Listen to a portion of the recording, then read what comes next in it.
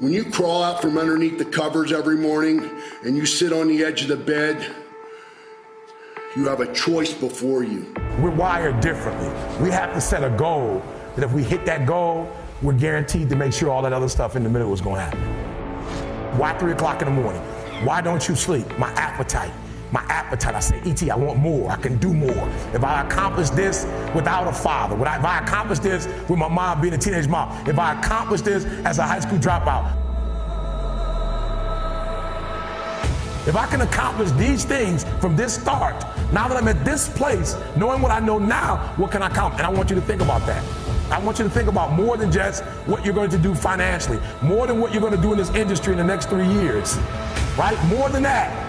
What's your appetite? What are you, what are you going to do that will in, ensure that when the alarm clock goes off, that you're already up 10, 20 minutes before your alarm clock goes off? Why? Do the work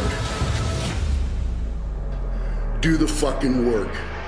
You've heard me say it before. No alarm clock needed. My passion wakes me up. Listen to me. No alarm clock needed. I can.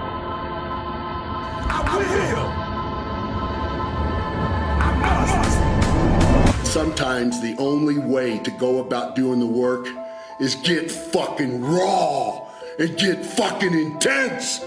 Get angry and aggressive and make it fucking happen for yourself. You start today. I don't care when your life clock started ticking. You can start fucking right now today. If it's 4:15 a.m. in my world,